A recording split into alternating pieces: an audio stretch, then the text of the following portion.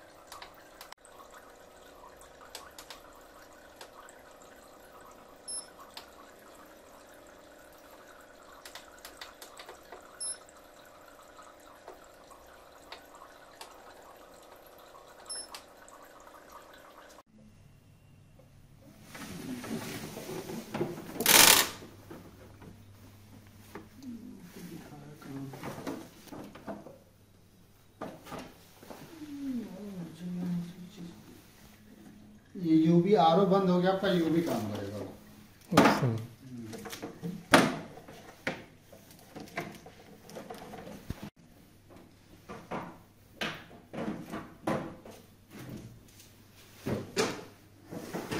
तो इसके जो ये मोड है ए बी सी डी तो उस पर क्या फ़र्क पड़ता है टीडीएस का। अच्छा टी डी एस का। तो टी डी एस का जैसे है कि डी कितने ब्रांड पे क्या रहता है? ए कम टीडीएस हो गया बी और ज़्यादा हो गया। हम्म, सी और ज़्यादा हो गया डी और ज़्यादा हो गया। अच्छा। एफ़ तक है शायद उसमें सी चल रहा था। हाँ नहीं वैसे मोड एफ़ तक है। नहीं, पहले जो मोड था वो सी सी था, हाँ। था अब डी की है।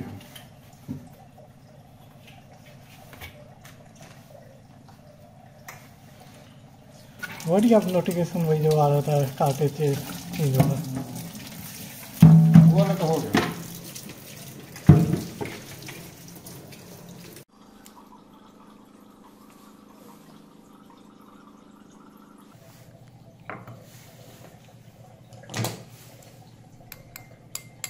कलर कोडिंग देखिए। इस पे कलर कोडिंग देखिए। पर्पल आ रहा है टेन पी एच मतलब इतना ये सही है? हाँ ये पी एच है टेन आपका एल्कालाइन का पी एच है। अच्छा। ठीक है? और जो आर का देखा जाए तो आर का आपका और कम पी एच होगा एसिडिक वाटर होता है। ये आर पे है।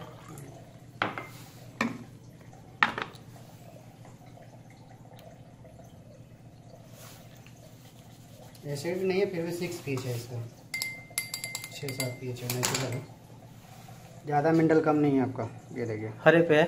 हाँ हरे पे normal। है। हाँ। नेचुरल वाटर टैप वाटर का टैप वाटर का भी देखेंगे तो मतलब अभी जैसे जो पानी पचपन टीडीएस है तो मिनरल्स होंगे ना पानी मिनरल ऐड करके आ रहा था अभी तो पीएच उसका देखना ही ना। डिब्बी रख दीजिएगा तो देखेंगे एक बार हम नीचे वाले से ये अलग का कलर आया टैप वाटर पे। हाँ टैप वाटर का ये। ये आया ब्लू ब्लू में नहीं नहीं ये सेवन में ही है नेचुरल वाटर ही आ रहा। अच्छा। हाँ।